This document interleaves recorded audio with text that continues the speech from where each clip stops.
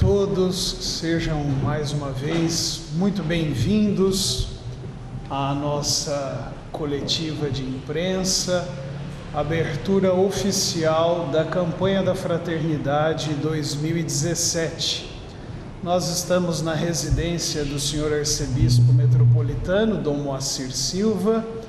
Hoje nós estamos abrindo a quaresma e com a quaresma a igreja presente no Brasil lança oficialmente a campanha da fraternidade.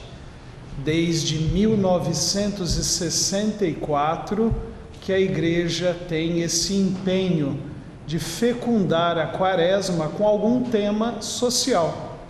E mais uma vez, então, nós temos aí uma proposta para o Brasil e particularmente aqui para a nossa região de Ribeirão Preto. Então nós vamos passar a palavra para o senhor arcebispo, ele vai fazer uma explanação geral e depois aqueles que quiserem, ele poderá fazer algumas chamadas individualmente. Primeiramente, muito obrigado pela presença de vocês nesse empenho em divulgar a campanha da Fraternidade 2017. Este ano, a campanha da Fraternidade tem como tema Fraternidade, Biomas Brasileiros e Defesa da Vida. Mais uma vez, a Igreja no Brasil, através da campanha da Fraternidade, se debruça sobre a questão do meio ambiente. E toda a campanha, além do lema, além do tema, tem também um lema, que nesse ano é cultivar e guardar a criação. Fundamentado na palavra de Deus, quando narra o livro do Gênesis, narra a obra da criação, deixando ao homem a missão de cultivar e guardar a criação.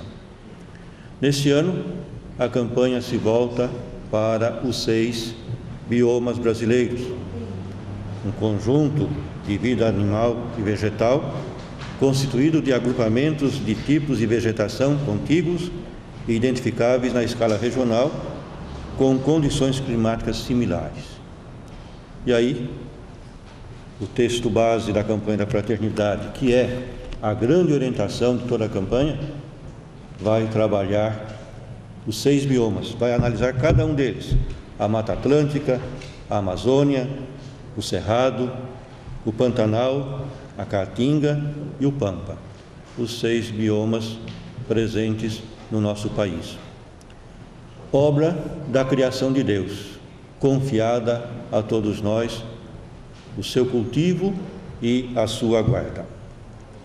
O texto base da campanha, num primeiro momento, olha para cada um dos biomas, analisando, estudando e apresentando as características de cada um, as suas características naturais, os povos originários e a cultura presente em cada um dos biomas, apresenta também a beleza, a fragilidade e os desafios, a contextuação política e a contribuição eclesial que vem acontecendo ao longo do tempo. O Papa Francisco, como também os outros papas anteriores a ele, presenteiam o Brasil, a campanha da fraternidade, uma mensagem.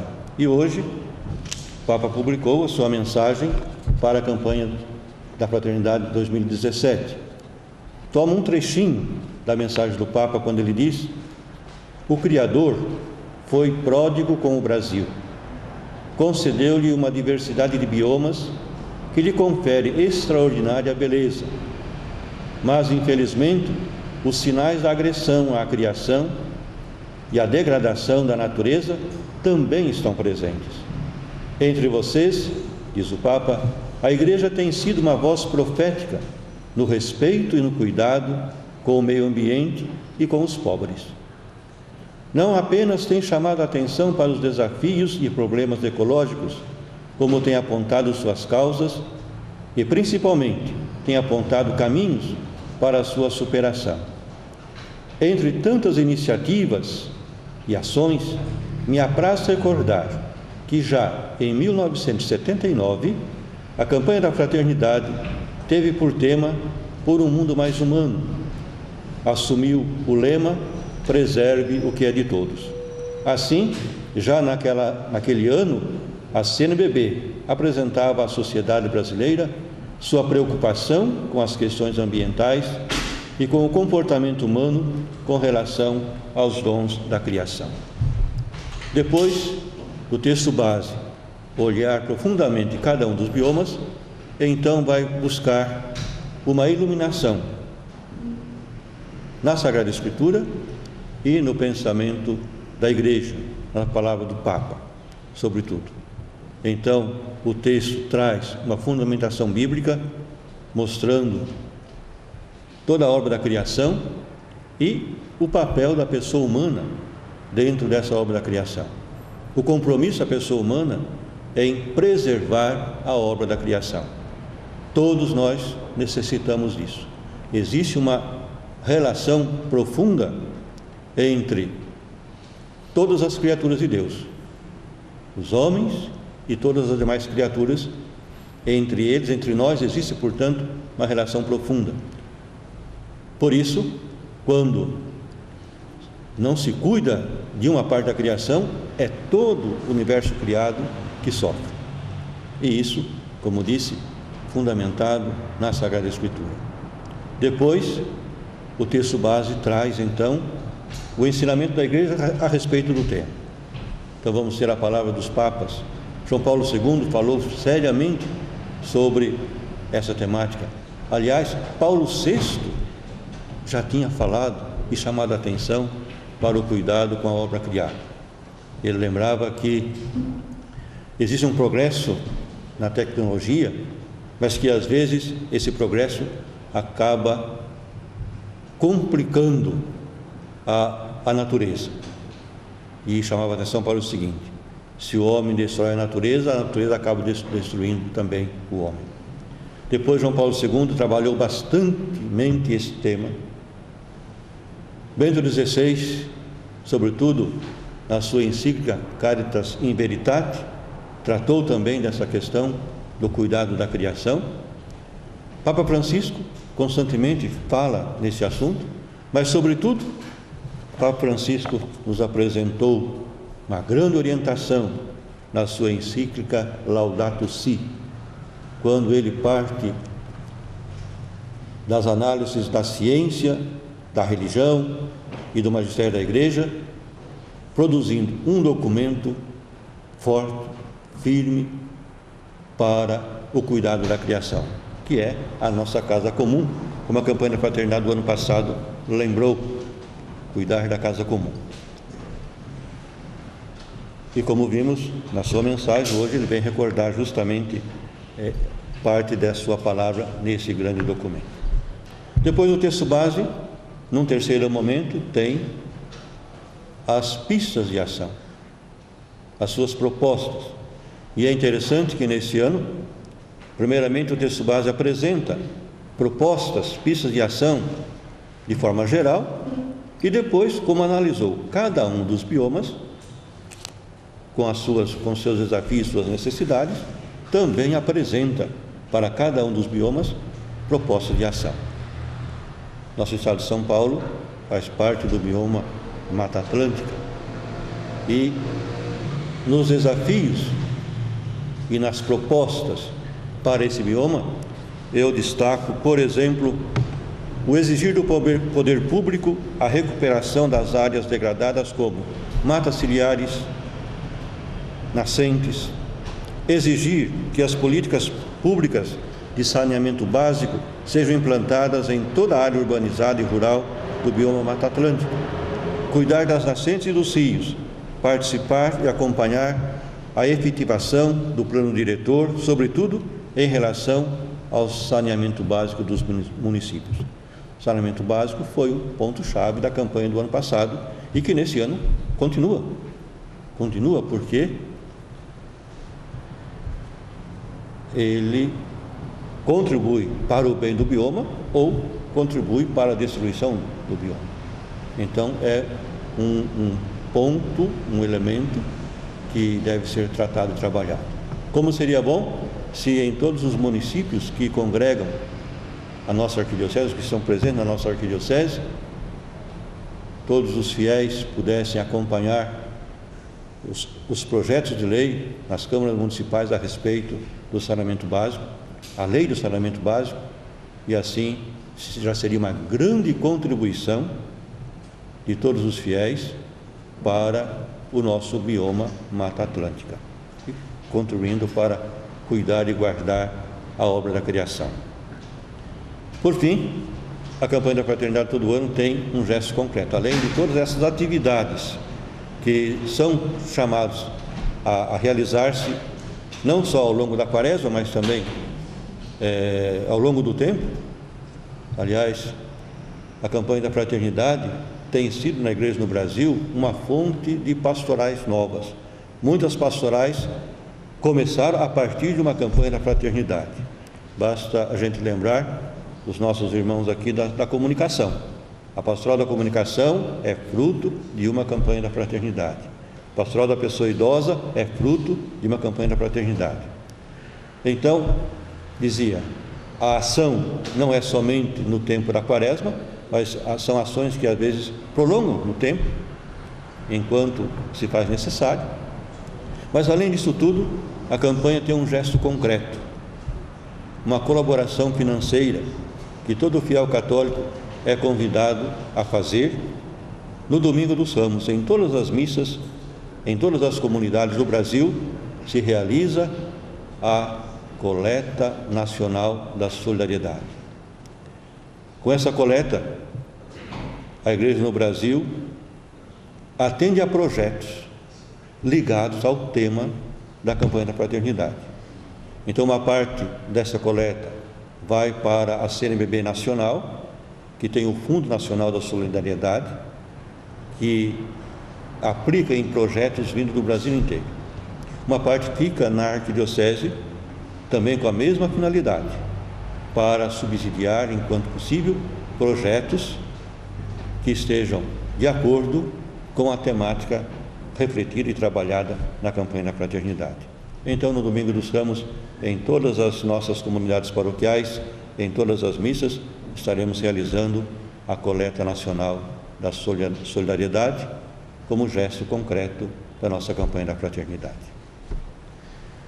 Nós poderíamos perguntar, né? Mas a Arquidiocese de Ribeirão Preto, o que ela pretende fazer de ações concretas?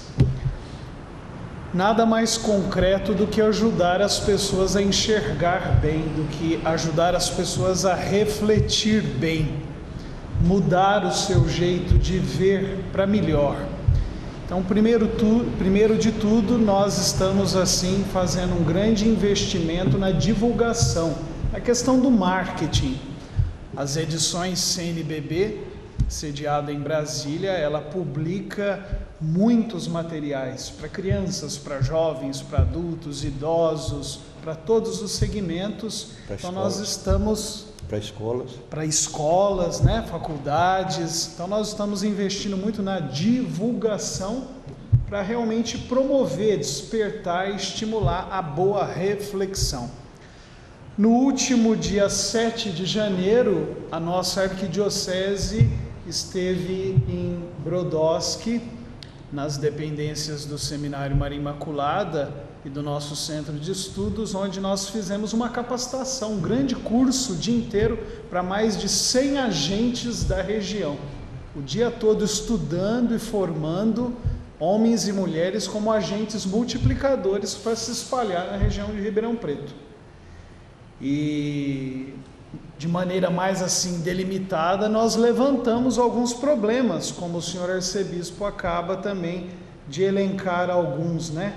O problema do aquífero Guarani, a questão do avanço desregrado da cana-de-açúcar, é, o desmatamento né, de várias regiões aqui em Ribeirão Preto, nascentes, o próprio Rio Pardo com todos os seus problemas e agressões. E queremos, depois do dia 9 de abril, quando será o domingo de Ramos, começar a receber projetos para que sejam analisados e, se aprovados, nós vamos financiar, nós vamos financiar com parte dessa coleta esses projetos que tragam ações concretas aqui para a nossa região de Ribeirão Preto. Esses projetos vêm das comunidades paroquiais, como vêm de muitas outras entidades.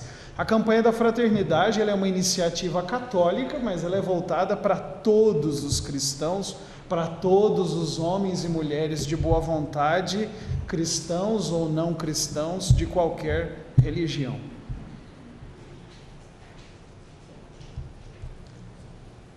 Podemos, se tiver alguma pergunta, Dom Moacir está à disposição.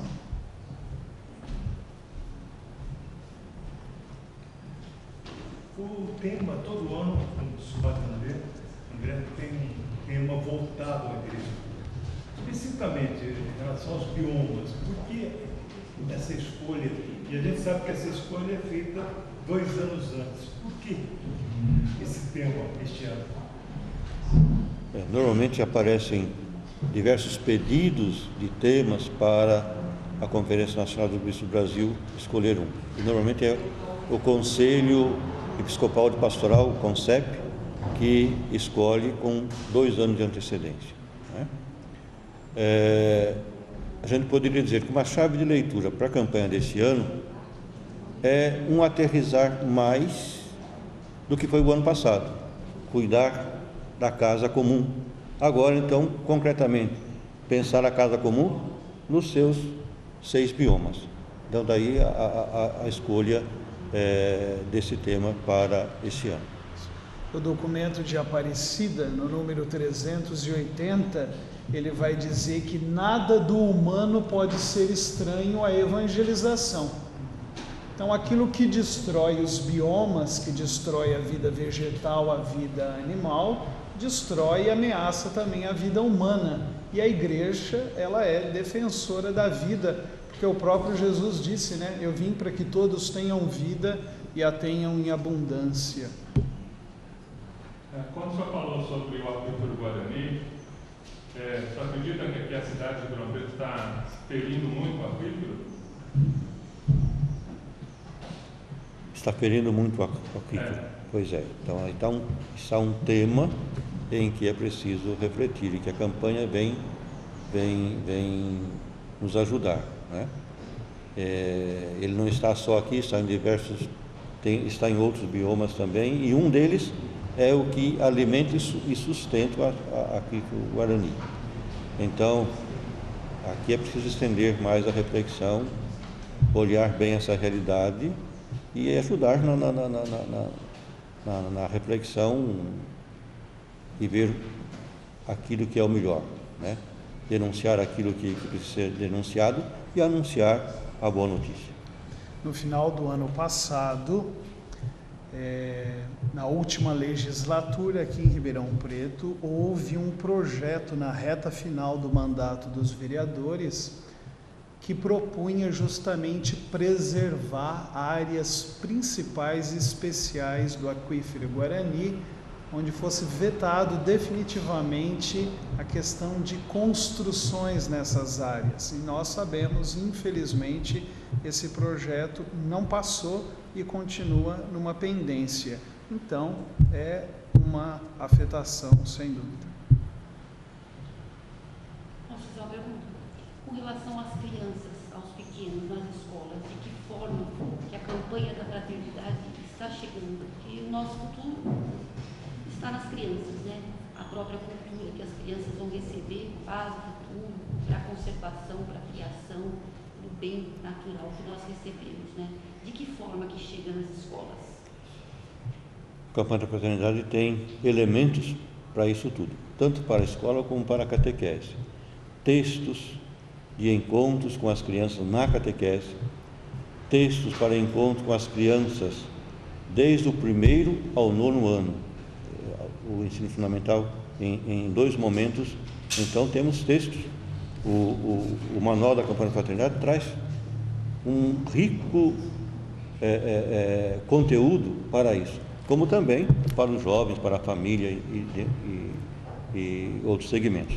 Mais especificamente, para as crianças, temos elementos para a catequese, para ser trabalhado nas comunidades, e elementos para serem tra tratados na, na escola.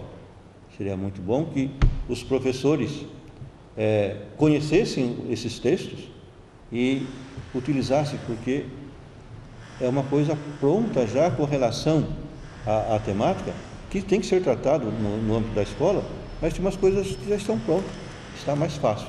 Então a campanha contribui é, apresentando conteúdos para crianças, seja na catequese, seja na escola. É, a campanha da fraternidade ela tem que extrapolar a igreja, né?